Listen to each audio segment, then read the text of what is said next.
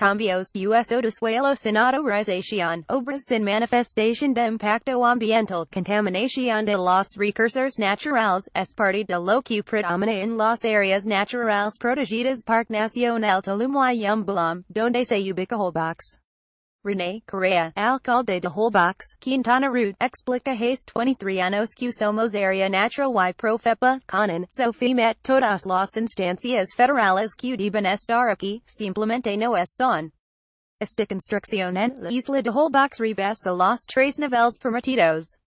Forma parte de los desarrollos inmobiliarios destinados a ser hotels y que se están construyendo de manera irregular en lo que se considera un paraíso natural. Construcción irregular afecta ambiente en Holbox, Quintana Roo Noticieros Televisa Alejandrina Selam, Presidenta del Consejo de Desarrollo Holbox, señala la administración anterior, cuando salió, dejó 40 permisos de construcción y aumento de habitaciones en algunos hotels.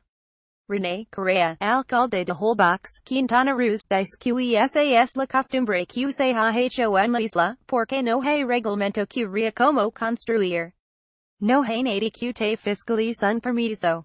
Entonces tú pides el permiso para 10 metros y construyes 100 porque nadie te viene a ver. Las construcciones ilegales forman parte del desorden que vive Holbox, afirma el alcalde. Holbox, conocida como Isla Chica dentro del área natural protegida Yum Balam, mantiene un ecosistema frágil con especies de flora y fauna protegidas por las leyes mexicanas. Anuncio de especies protegidas en Holbox, Quintana Roo Noticieros Televisa el 6 de junio de 1994 recibió el decreto de área natural protegida, 23 años después todavía no cuenta con el plan de manejo, es decir, el documento rector de las actividades que se pueden desarrollar y las que no, en la zona. Ricardo Gómez, delegado de Comisión Nacional de Áreas Naturales Protegidas de Semarnat, explica es complejo el sitio, pero también es mucho más complejo poner de acuerdo a tanta gente. Hay una serie de intereses en la isla, intereses económicos, intereses sociales, de conservación. El crecimiento desordenado y la llegada masiva de turistas en Holbox han colapsado los servicios de agua, basura, drenaje y electricidad, planeados para mil personas, pero en temporada alta pueden haber por mil 500 personas en la isla.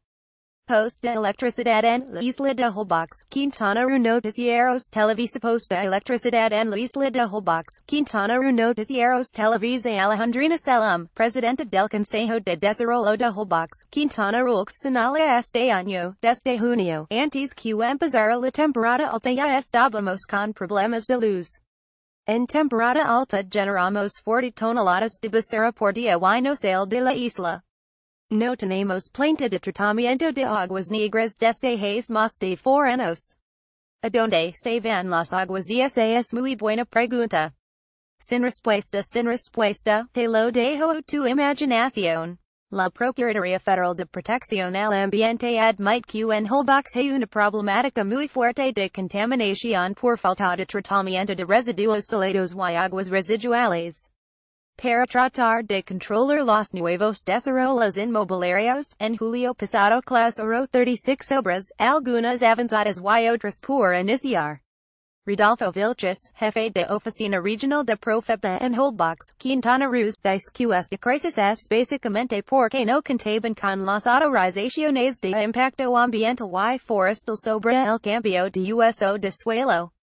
Una situación que se repita en el Parque Nacional Tulum, una de las zonas más bellas del país y una de las más codiciadas por los desarrolladores, reconoce la Comisión Nacional de Áreas Naturales Protegidas con parte de los 664 hectáreas que son propiedad del gobierno federal, según el decreto presidencial de 1981, han sido invadidas. Turistas en el Parque Nacional Tulum de Quintana Roo Noticieros Televisa Turistas en el Parque Nacional Tulum de Quintana Roo Noticieros Televisa Limited de los restaurantes y hotel se han instalado de forma irregular en la zona. Admite la Profepa, dependencia QS de año Claus Orado 13 inmueble, las cuales en su mayoría siguen funcionando. Rodolfo Vilches, jefe de Oficina Regional de Profepa, adelanta que lo ideas hacer las denuncias penales correspondientes.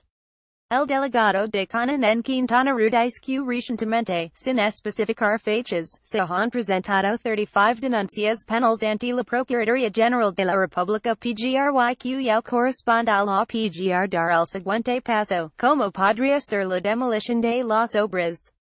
Ricardo Leon, delegado de Conanp en Quintana Roo, dice tal vez no ha sido expedita en algunos sentidos la aplicación de los procesos técnicos o jurídicos en el sitio, pero finalmente, justamente estamos trabajando para darle una integridad y cuando se de acute ese paso se de acute de manera contundente y clara. Vista Panoramica del Parque Nacional Tulum en Quintana Roo Noticieros Televisa El Parque Nacional Tulum es un área natural protegida con flora y fauna endémica, pero poco a poco reduce las zonas costeras naturales al convertirlas en alojamiento y hospedaje.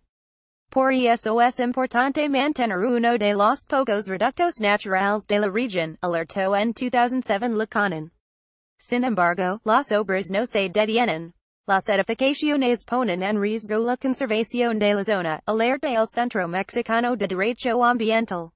Sandra Moguel, directora regional del Centro Mexicano en Derecho Ambiental CEMDA, explica en el caso de Tulum, tampoco tiene este instrumento de planeación el plan de manejo. Nuestro llamado es para que las áreas naturales que ya existen pues realmente tengan una protección, elaborando esos instrumentos que son de planeación, rectores de actividades y que se ejecutan. En diciembre del 2016, el gobierno federal declaró nuevas áreas naturales protegidas en Quintana Roo, estado con el área marina protegida más grande de México. Los ambientalistas piden que estas nuevas áreas no les ocurra lo que a Holbox y el Parque Nacional Tulum. Con información de Luis Pavan MLV Ecología Holbox Quintana Roo Tulum.